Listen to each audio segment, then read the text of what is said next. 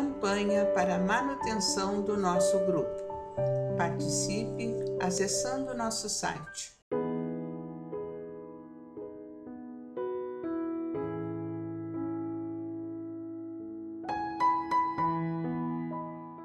Olá, irmãos, como vocês estão?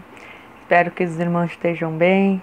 Hoje aqui estamos mais uma vez em comunhão com Jesus, em comunhão com a equipe espiritual desta abençoada casa de amor e que possamos aproveitar esta oportunidade, não é?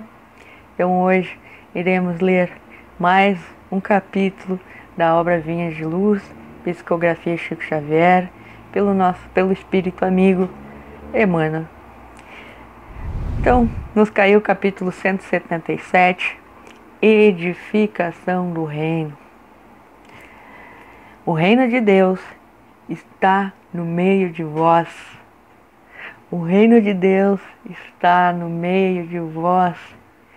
Jesus, pelo Evangelho de Lucas, capítulo 17, versículo 21.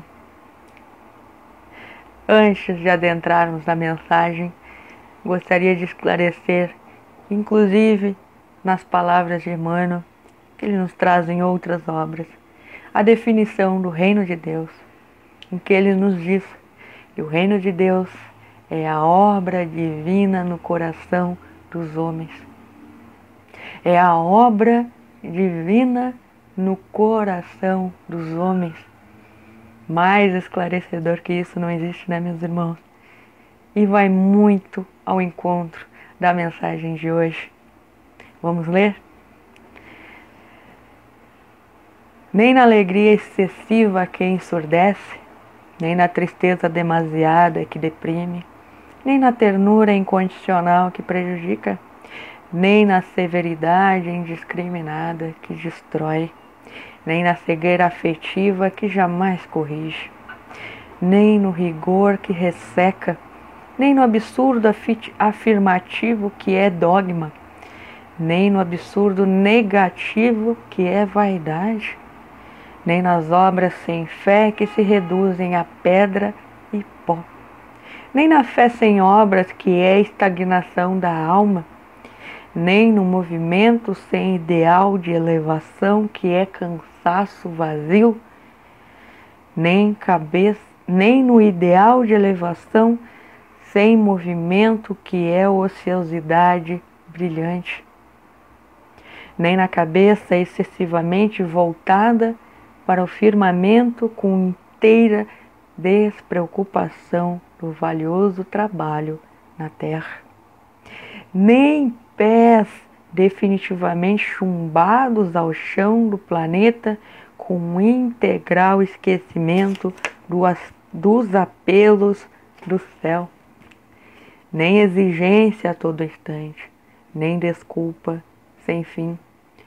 O reino divino não está não será concretizado na terra pela prática de atitudes extremistas. Opa, Opa! Até me arrepiei aqui. O reino divino não será concretizado na terra pela prática de atitudes extremistas. Ai, essa obra foi escrita em 1945, né? Só quero lembrar desse detalhe. O próprio Mestre asseverou-nos que a sublime realização está no meio de nós no meio de nós. A edificação do reino divino é obra de aprimoramento, de ordem, esforço e aplicação aos desígnios do Mestre, com bases no trabalho metódico e na harmonia necessária. Não te prendas, não te prendas excessivamente as dificuldades do dia de ontem. Nem te quietes demasiado pelas prova pelos prováveis obstáculos de amanhã. Vive e age bem no dia de hoje. Equilibra-te e vencerás. Olha só. Não te prendas excessivamente às dificuldades do dia de ontem, nem te inquietes demasiado pelos prováveis obstáculos de amanhã. Vive e age bem no dia de hoje, equilibra-te e vencerás. Que lindo, né? Magnífica mensagem para hoje. Edificação do reino. O reino de Deus está no meio de nós. Palavras de Jesus. E o que seria o reino de Deus? É a obra divina no coração dos homens. Irmãos, amigos, Emmanuel nos trouxe aqui uma bela exposição dos excessos, das, dos comportamentos, às vezes extremistas, que o homem adota, acreditando que está fazendo bem, está fazendo certo. Mas, como o próprio Emmanuel nos diz, não é por esse caminho que construiremos o reino divino.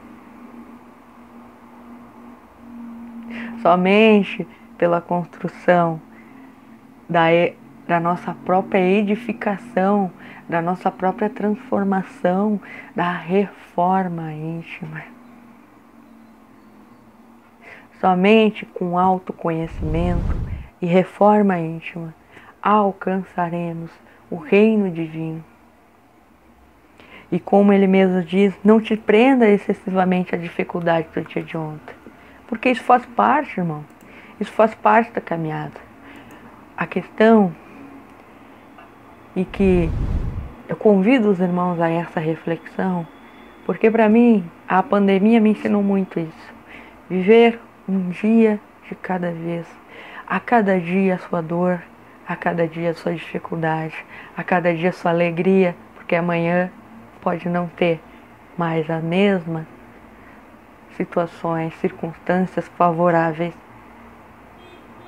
mas procurar viver um dia de cada vez e assim aproveitar todas essas oportunidades, instantes, momentos da nossa vida com maior proveito, com maior alegria, sem nos preocupar com o amanhã de forma excessiva.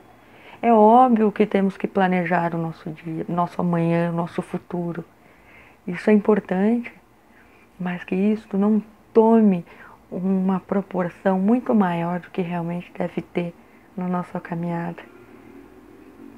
Que, para que não adoeçamos e não adotemos atitudes muitas vezes extremas que prejudiquem somente a nós né?